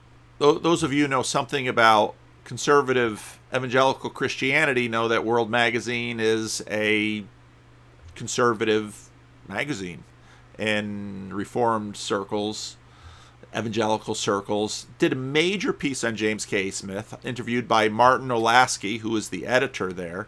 And James actually has is using this image for his Twitter feed. Uh, very interesting article um, talking about you know James fairly fairly transparent in terms of his own personal life and his you know Augustine's father, his um, his James's father. It's very interesting that James is working. James is working the postmodernity. I mean, one of his earlier books, "Who's Afraid of Who's Afraid of Postmodernity," he, he's really sort of seeing some of these Derrida, Foucault in the light of Augustine and um, Heidegger as well. Heidegger, uh, James K. Smith did quite a bit of work in Heidegger, and it, it's very interesting how he is sort of taking these and you know coming around uh, with Augustine with them, and this is with John Vervaeke's background in in Neoplatonism. I, I would like to see John and Jamie Smith have a conversation again, but I hope they have they would know enough of each other's work to have a productive conversation. But it's it's it's very interesting to me listening to, listening to Caputo do this, and again as a reformed Christian, Luther of course was an Augustinian monk. Um, John Calvin, if there was a guiding light that John Calvin was trying to follow, it was Augustine. Um, there's some good memes about Calvinism and Augustine out there on the uh, on the internet. You can look them up yourself. So, postmodernity, part of what James is doing in his book On the Road with Augustine, is is connecting the existentialists and the postmodern together with Augustine. And again, I think this this chapter in his book On the Road with Augustine, uh, Refugee Spirituality, I think it's a tremendous chapter. I'm going through his book on audiobook. And again I, I haven't I've, I've been a fan of a lot of his ideas. I haven't necessarily been a fan of a lot of his writing. That, that but i thought this chapter in this book was i thought it was outstanding. It hit me well and and it's been helping me sort of put some things together here Okay, back to the video. certain sense, it uncontroversial exists at a human level in the sense that we conceive of goals and we pursue them. So we imagine, you know, I imagine that I want to eat this this macaroni. I go buy it, I eat it. There's a sense in which I was being drawn into the future by my ability to conceive it.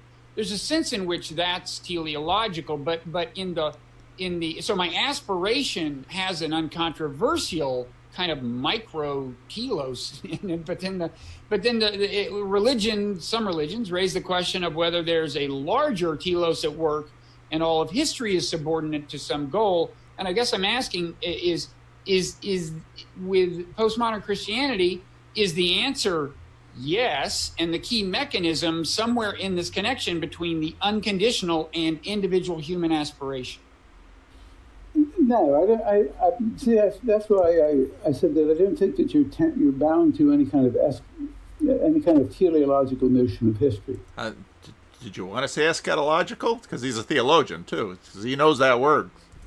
I mean, the, as far as we can tell, the best information we have available, this civilization of ours, and this Earth, and this solar system, and this galaxy are headed for oblivion this move uh, when he made this because I was you know there, there's a reason Robert Wright especially you know if you do some googling with Robert Wright and some of his own personal stuff his pushing on this point here I found fascinating. And then this move by Caputo I found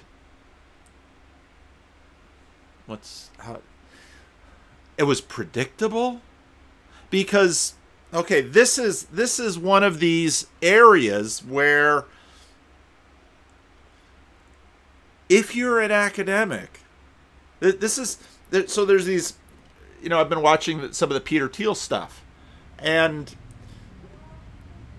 there, there are certain things there are certain things that you say certain areas that if you these boundary markers here and one of them there is their purpose to the universe. And he says no by we by all by all purpose we can tell that there's no the universe is heading to oblivion. And and it's like i want to just pull in cs lewis's life in an atomic age. Uh, pull in nt wright talking to peter thiel. And that that's part of the reason i didn't get a video out this tuesday was too many videos in my head and i can't when i have too many videos i want to do at the one time they kind of keep jostling and you know nothing gets born but and, and so Caputo here, no, there's no there's no purpose. It's this is and so then then you're like, well, okay.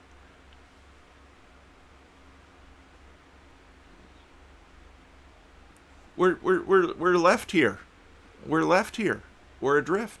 And and the the purpose that you know Robert Wright noted, well, we have purpose individually, and we and you know law Christianity has long asserted that there's this purpose up here, and well, purpose is part of this manifest image. We know by science that that isn't there, and it's like, well, well, well, well who who is taking what literally now?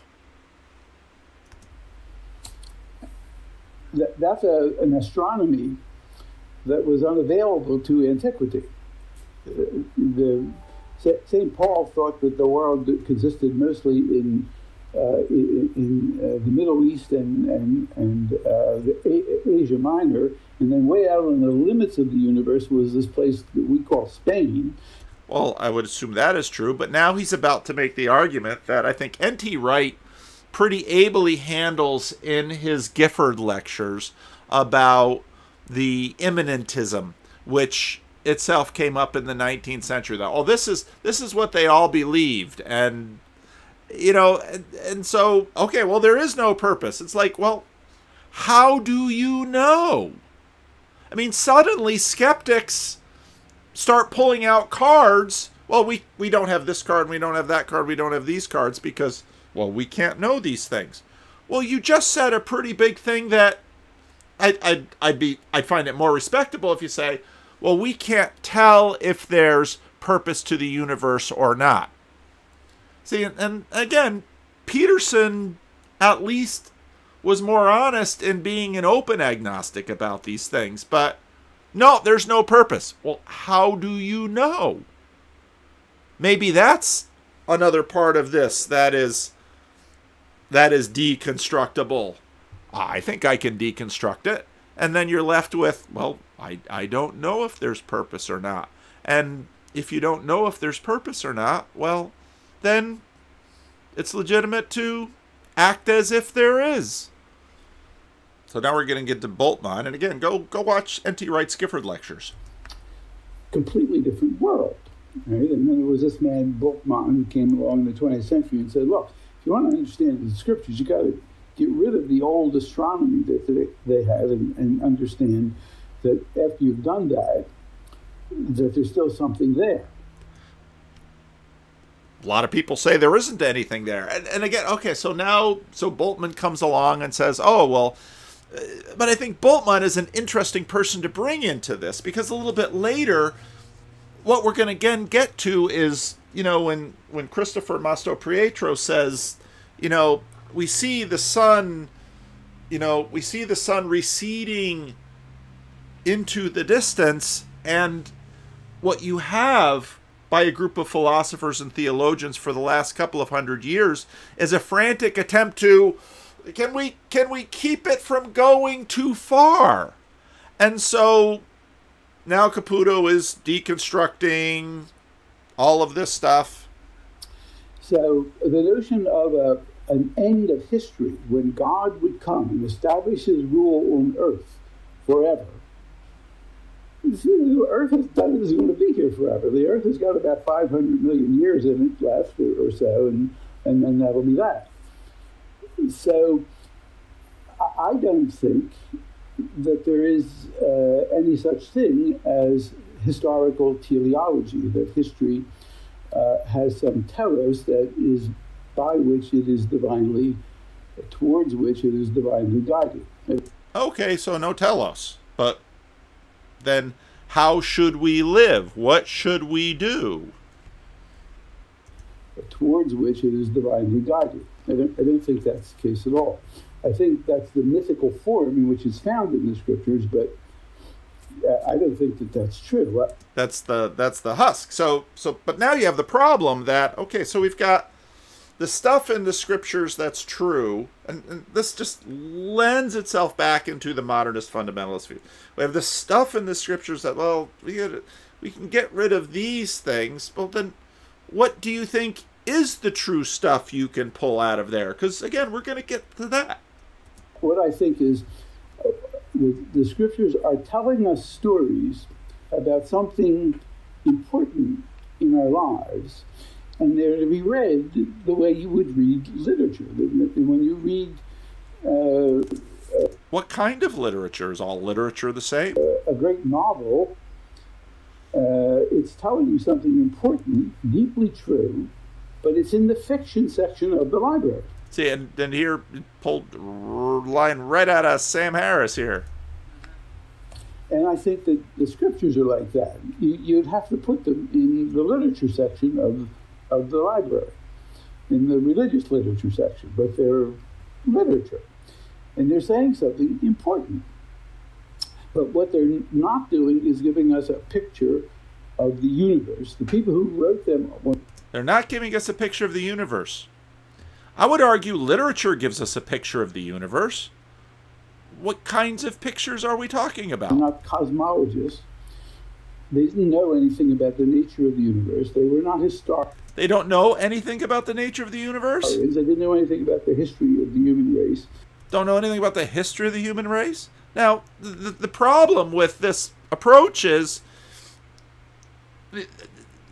people who are enormous skeptics now suddenly know all these things. And it's like, well, I would say they knew some things, they didn't know other things. We know some things, we don't know other things. Um, there's going to be a lot of knowing and unknowing all over the place, but to just sweep it away. And they had no basis whatsoever to talk about the end and the purpose of the human race. Had no basis at all to talk about that. Well, do you have basis to dismiss it? But they were still saying something that's important. How do you know? How, how, how could they get these other things completely wrong and these other things right? Well, maybe we can get bunches of things wrong and some things right. So I didn't. I didn't have no. I don't subscribe to any theological notion of history. I mean, and, and, and, what's the most concise formulation of what they were saying that's important? Well, depends. See again, I think Wright does an excellent job in this interview. Depending on who you were talking about, the prophets. The most important thing the prophets were talking about was justice, the rule of rule of justice. Uh, in some of the older books of the scriptures, what the, the most important thing they were established, interested in was establishing the rule of of the people of God, of, of, of Israel, of Yahweh, and of making sure that nobody messed with Yahweh. And and and now, okay, uh, but again, there's not justice in the mosaic in the Mosaic law. That isn't an attempt at justice. That that there's not expression of justice in the prophets, and so well now, well we're going to pick the prophets. Well, why? Is it can we deconstruct your selection of the prophets? Because all of this selecting we're doing is deconstructible, right? And so justice, what is that? Well, they'd be. Mm-hmm. So they that was a very nationalistic uh, idea of uh, what, what, what, the prophets weren't nationalistic. We call their religion, but it evolved, and when you by the time you get to the prophets. Uh, and, and again, it evolved. What does that mean? Well, it meant it got better. Okay, well, is it going to keep getting better? Um, then they're starting to think in terms of uh, universal justice, the messianic age, peace. Mm-hmm. And um, in the New Testament, you see the, it's the prophetic stream of the uh, Christian, of the Jewish scriptures, which shows up in the New Testament under the notion of the kingdom of God. And the kingdom of God is an amazing place, right? It's a place where where hatred is greeted with love, hostility with forgiveness. And if there's the kingdom of God, there's the outside the kingdom of God, where there's weeping and gnashing of teeth too. The weak are uh, the, the meek inherit the earth. Uh, the the, the ver- everything's upside down. It's a, it's a topsy turvy world. So it's a po- it's it's a poetic vision of life that philosophers themselves would be less inclined would be would not come up with. Mm-hmm. So philosophers would think in terms of an order of an order established by rational uh, agreement and rational consensus, whereas what you see in the scriptures is a is a much more uh, poetic vision of life, a, a, much crazier vision of life. It's a, it's sort of uh, an Alice in Wonderland, topsy turvy uh, life, where the last are first, and the outsiders are, inside, are, are invited in, and the insiders are invited out, and the first shall be last, and the last shall be first. It's a, it's a radical vision of, uh, a revolutionary vision of, uh, of life. Okay. That's. Oh, wait, wait, revolutionary. Where have I heard this before in this conversation? Wait a minute. There's there's the there's the status quo, and then there's the revolution, and then there's the new. So again, I mean, again, that's not a it's not a bad thing, but this whole thing has in fact telos because the purpose of the revolution is what? Well, this aspirational better world. Well, where does that come from? Well, there can't be any telos over there. So,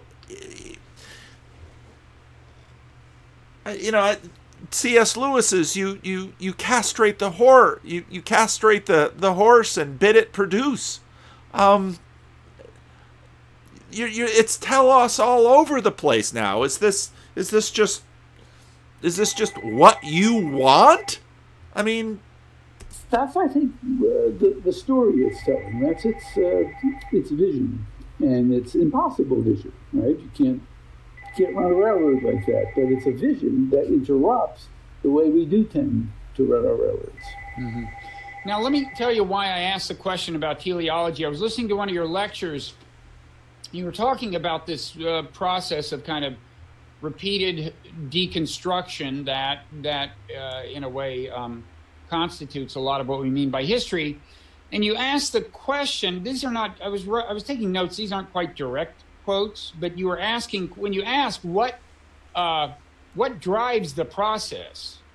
You, you were asking questions like, uh, "What is calling to us? What are we called by?" Right?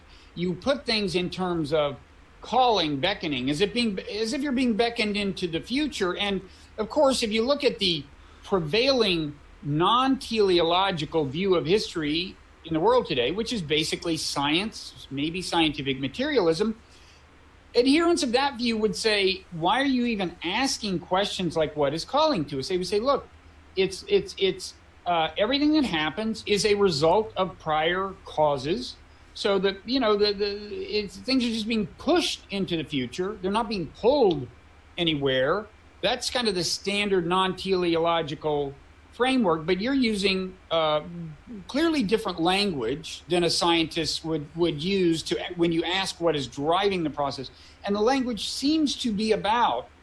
I mean, first of all, the, the word calling is itself suggestive in a religious context because of this notion that we all have some role to play, right? That's divinely uh, that originates in the divine in some sense. Um, but but also it's just it, there is this idea of being called into the future, right? So, uh, and that to me is suggestive of, of of, of teleology, right? You can see you can see where I'm coming from.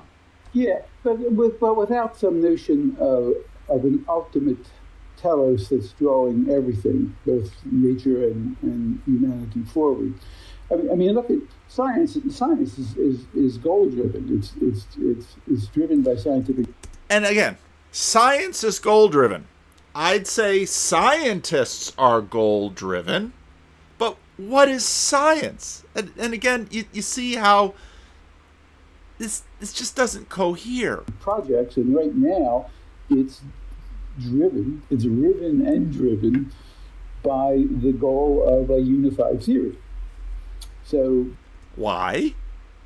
Because the math is better, right? Because it's cleaner. Because it coheres. Scientific work would not uh, happen were were they not puzzled by conflicts and anomalies and difficulties and problems um, which they're trying to resolve. Um, that's not to say Suddenly, scientists got back in it. Human science is the goal of the universe. It's to say that our our life is in denying some that we we could in any way know or posit some ultimate telos. I'm not denying uh, something that's very important to me, and that is the notion of our futuricity, of, of, of the futural nature of human existence. So, so here we bump into again one of these you know, not doing this for a couple of years, one of these lines of demarcation in the secular frame that human beings are the only things that we are affording purpose, that there's no that any purposes we see above us or beyond us are things that we project up into it. They're not there actually. They don't exist because there's nothing to put them there. And and so, well, I sometimes I get caught talking like this, but don't really mean it. And so purposive activities and goals and calling and mission, these are all things that in in, in poetic moments I'll talk about and because I, I enjoy them and they, they feel good to me, but finally, every project that I make, oh, what do we know by science? That the universe, 500 million years ago, it all goes poof. You just. You're just begging people to not have a purpose in life. Oh, here's a little purpose you can have. Just play around with it. Anything will do. Well, what about justice? Uh, well, that's a good one. Okay. What about making myself happy, pleasuring my way in any way I would want? That gives a lot of purpose and aim and goals. Well, well, that one doesn't go as far as justice. Why not? Well, maybe there's something built into the world that is actually pointing in a way and maybe the stuff up here is actually connected to that which can't be deconstructed down here and and maybe my my little experience of oppression is is insufficient to to to even build one measly human life upon maybe e- even that there's something within a human life that has more majesty that that that my experience is insufficient to justify. We are uh, unfinished beings. We are open-ended beings. And deconstruction is the theory of keeping us unfinished, keeping us open, and not letting things free, freeze over or, or encrusted. It's a, it's a theory of de, de uh, crustacean of rigging. So we're tourists. We're not pilgrims. We're not heading anywhere. We're just wandering. And when we get to a place, it's like, oh, well, good enough for me. So again, I woke up early this morning, and if I wake up early, I don't want to bother my wife, and so I'll often just put in an audiobook and listen to something or a video or something early on, so I don't, you know, get out of bed and disturb her and ruin the ru- ruin the rest that she needs. And I read this chapter, and um, we cultivate indifference as a cocoon. We make irony a habit because the safety of maintaining a knowing distance works as a defense. If you can't find what matters, conclude that nothing matters. If the hunger for home is always and only frustrated, decide the road is life.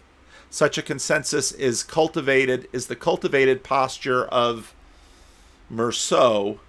I don't speak French the anti-hero at the center of Albert Camus' breakout novel The Stranger. He exhibits an odd aloofness from the very beginning. He can't remember which day his mother died. The day after receiving the telegram, he's laughing and frolicking with Marie and the Mediterranean Sea. Puzzled when he puts on a black tie, Marie asks in jest whether he's mourning. I told her Maman had died. She wanted to know how long ago. I said yesterday. She gave a little start but didn't say anything. I felt like telling her it wasn't my fault, but I stopped myself because I remembered that I'd already said that to my I'd already said that to my boss. I didn't mean any it didn't mean anything. Besides, you always feel a little guilty. And are. Later in the novel, his guilt well um, his guilt well established, Meursault is imprisoned but this is only an intensification of how he has always experienced the burden of life. Like Socrates practicing to die, Meursault has unwittingly spent a life learning to be guilty, denied his freedom. When I was first imprisoned, the hardest thing was that my thoughts were still those of a free man. I still had I still had these silly ideas of telos, pulling me into the future. I was still living in the mythologies instead of the one thing that can't be deconstructed. For example, I would suddenly have the urge to be on a beach and walk down to the water. I imagined the sound of the first waves under my feet, my body entering the water, and the sense of relief it would give me. All of a sudden, I would feel just how closed how closed in I was by the walls of my cell, but that was only lasted a few months. Afterwards, my only thoughts were those of a prisoner. When all you'll see is the walled yard, decide that walking around within it is the only journey that could ever make you happy. I think in many ways that's where that's where that's where this postmodern Christianity, there's no telos up there, but I can talk about calling and passion down here. I'm in the prison. When your only visitor is your lawyer, convince yourself hell is other people. When happiness eludes you, believe that eschewing happiness makes you happy. You can learn to stifle the stubborn suggestions otherwise, as Meursault learned during the during the incessant drone of his trial. Through all the interminable days and hours that people had spent talking about my soul, he said, I could hear through the expanse of chambers and courtrooms an ice cream vendor blowing his tin trumpet out in the street, I was assailed by memories of a life that wasn't mine anymore, but one in which I'd found the simplest and most lasting joys the smell of summer, the part of the town I loved, in a certain evening sky, Marie's dresses and the way she laughed. The utter pointlessness of whatever I was doing seized my throat, and all I wanted to get over with, and all I wanted was to get it over with and to get back to my cell and sleep. The journey is one of our oldest tropes for the adventure of being human. In many cases, the template was Odyssean departure and return, adventure and homecoming, from bon voyage to welcome home. Even the lament You Can't Go Home Again by Thomas Wolfe rehearses the, the Odyssean itinerary by trying to get back. But the adventure of Camus' exile was not Odyssean, it is Sisyphean. Joy is, pre, joy is is predicated on the impossibility of arrival. In the myth of Sisyphus, Camus describes the experience of one for whom the illusion of rationality has been peeled back. In a universe suddenly divested of illusions and lights, a man feels an alien, a stranger. His exile is without remedy since he is deprived of the memory of a lost home or the hope of a promised land. The world is inhuman, indifferent to us, and there are days, moments, seasons when its aloof strangeness swells to encompass our vision, and we experience a vertigo, like looking at the Mediterranean on a cloudy day and the horizon vanishes in a bright gray. If man realized that the universe, like him, can love and suffer, Camus remarks, he would, re- he would be reconciled. But the world refuses. Caputo says, we can't believe that world because science tells us in 500 million years it will be gone. Good thing I'll be dead before that. The strange disaffection bleeds into me if I sit still long enough. Likewise, the stranger who at certain, at certain seconds comes to meet us in a mirror. The familiar and yet alarming brother we encounter in our own photographs is also the absurd a stranger to myself and to the world, armed solely with a thought that negates itself as soon as it asserts. What is the condition in which I can have peace only by refusing to know and to live? In which the appetite for conquest bumps into walls that defies its assaults. The condition is exile, and happiness is embracing it relinquishing any nostalgia for home and any hope for arrival. The absurd one is the one who manages to make exile what he always wanted. The feat, the trick, is to learn how to live without appeal. Exile is the kingdom. The hell of the present is his kingdom at last. Imagine Sisyphus as a pilgrim caught in a loop, arrival always eluding him, accomplishments perpetually undermined. Sisyphus is the absurd hero for Camus because he embraces this perpetual pilgrimage of futility. It is during that return, that pause, that Sisyphus interests me, Camus admits. When the stone has rolled away again, Sisyphus pray, Camus praises Sisyphus for his trudge back down the mountain, left at the foot of the mountain, the rock rolling back every time. Sisyphus man- manufactures joy in the effort. All Sisyphus all Sisyphus's silent joy is contained therein. His fate belongs to him. His rock is his thing.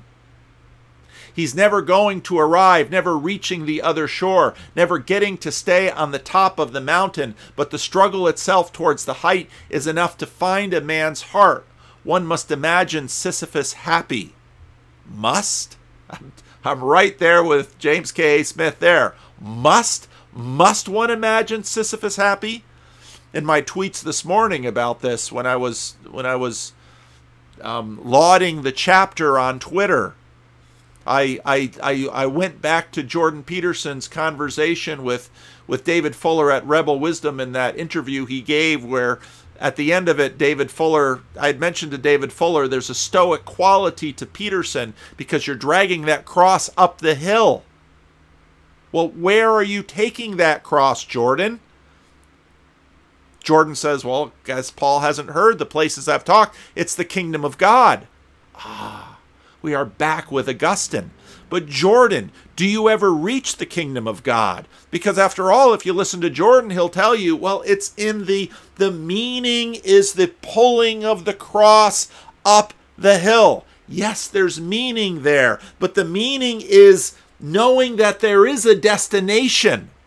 And for Jordan, who tells the story of the Nazi camp where it's dragging the the sack of sawdust or sand back and forth across the flat factory floor just to make the point that there is no point. Because, of course, Augustine says there is another city.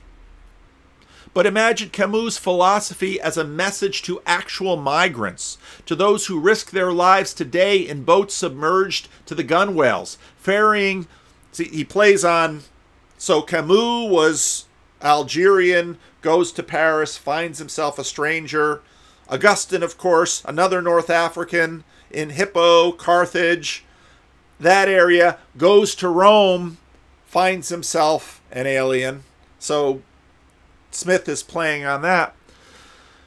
But imagine Camus' philosophy as a message to an actual migrant uh, refugees across Camus' prized Mediterranean, all too often failing to arrive. Or imagine young parents, toddlers in tow, harrowing a journey, uh, harrowing journey from murderous Honduras to the southern border of the United States, parched and depleted by the desert journey, trying to cross its fabled line to apply for asylum, only to be refused and returned again over and over. Is that bearing the cross? Surely you have a sense of meaning as you're making your way to, to the promised land. But Hebrews 11, surely there must be a home whose builder is from God. No, we can't believe that. All we can have is, if you tell me that, well, I'll stay in my mom's basement covered with Cheetos dust sitting playing computer games because there's no point to going forward. And okay, fair enough. It's it's it's meaningful to clean your room, but a la Augustine, the ordered room is gives us a sacramental connection to the final ordering or do or do such Sisyphean philosophies that the road is life turn out to be bourgeois luxuries um, indulged by those safe enough to pretend that this is all there is? Miroslav Volf, the extent of of uh, forget exclusion and embrace. I know we're can think of the I can think of the book when I can locate it in my in my in my office. Does the hunger and hope of the migrant show us something more fundamentally human? Maybe our craving for rest, refuge, arrival, home is a hunger that can't be edited. The heart an obstinate, obstinate palimpsest. That that's that's a document that's been bleached and rewritten, but sometimes we want to find the some we want to find the original document that someone thought they'd reuse the they'd reuse the papyrus or they'd they'd reuse the skin to put it on top. If there's a map inscribed in the human heart that shows where home is, in fact, that we that we haven't yet arrived doesn't make it a fiction. It might just mean that there's a way that we haven't tried. Maybe Camus gave up too soon. Augustine, his fellow African, might be a better guide. The alienation is real, the sense of frustration, futility of never arriving, never feeling settled with ourselves. These are not figments of the imagination to be papered over with pious assertions of homecoming. The way out of the experience of being fractured and fragmented and ill at ease in our own skin is neither Sisyphean redescription nor some born again leapfrog out of the vagaries of the human condition. Now he's dealing with the evangelicals, or at least certain reductionistic evangelicals. If there's a way out, our way home, a way to oneself, it has to be a way through what Camus confronts. If Camus is honest about what Heidegger calls angst, the anxiety that emerges in such moments, calling into question everything that we consider to be homey, faux comfort from our absorption in the world, in fact, in fact, Heidegger himself, echoing Freud, describes this productive, unveiling anxiety as I can't speak German either, as uncanny but even more literally, not at homeness. When we're fooled ourselves into thinking we're at home with distraction, tricked ourselves into feeling settled only because we've sold our home hunger for entertainments, then the eruption of the uncanny, a sense of not at homeness, becomes a gift that creates an opening to once again face the question of who we are. Angst's disturbing disclosure of meaninglessness is a door to walk through. It opens onto the possibility of finding yourself. Not at homeness could be the place from which you finally hear the call to be yourself. If Camus arrives, now notice the secret sacred self. Well, what what what happens? So if you follow if you follow postmodernity through this, and if you go to where Caputo goes, there's no there there. And so all you're left with is the secret sacred self because there's no purpose. And so now what the Apostle Paul and what Augustine would wind up saying is, well, then you're just left at the mercies of either the spirits abroad or the, the epithumia, the, the over desires inside and we're still alienated from ourselves, all of the existentialists, from the world. We're still, well, finding ourselves in the prison walls. Like Camus, Augustine was an African who ventured to Europe looking to make a name for himself, to arrive in both senses of the world, therefore securing his identity. And like Camus, he found there was only a new sense of alienation a provincial in the centers of cultural influence, first Rome, then Milan, he realized the limits of his welcome in the upper echelons of power. As the biographer Peter Brown, Peter Brown reminds us, even the fully Latinized African in the fourth century remained somewhat alien. The opinion of the outside world was unanimous. Africa, in their opinion, was wasted on the Africans. His accent is suspicious, a stubborn hayseed halo around his eloquence. Even when he achieves employment in the emperor's court, he surrounds himself with old friends from Africa who provide him with an outpost of Tagaste, and that was his hometown, amid the busyness of Milan. He'll never be at home there. But when he returns to Africa, he finds himself suspect there now, too. I had a conversation with Shelley today. Those of you on the Discord server know her, and we talked about third culture kids. Very much the same thing. His meteoric rise through the Roman channels of power is assigned to some African compatriots, Berbers and Donatists, that he's gone over to the other side. He is tainted with foreignness, even, even at home now. So he is caught between worlds, between classes, falling through the cracks of belonging by virtue of his emigration and return. Indeed, one can describe him the way Zweig, that was an earlier story in this chapter that I that I skipped over, describes the fellow traveler as amphibian between two worlds. For Augustine, this experience turns out to be a hermeneutic key to the human condition, a place from which he read the Bible, understood himself, and grasped something about humanity's cosmic sojourn. In a provocative, creative, anachronistic proposal, historian Justo Gonzalez sees in Augustine the makings of a mestizo and suggests that this experience of tenuous hybridity was both a burden and a fund for theological creativity. Gonzalez summarizes the concept. To be a mestizo is to belong to two realities, and at the same time to not belong to either of them. A Mexican American reared in Texas among people of Euro um, American culture is repeatedly told that he is a Mexican. Same with many Asians in California.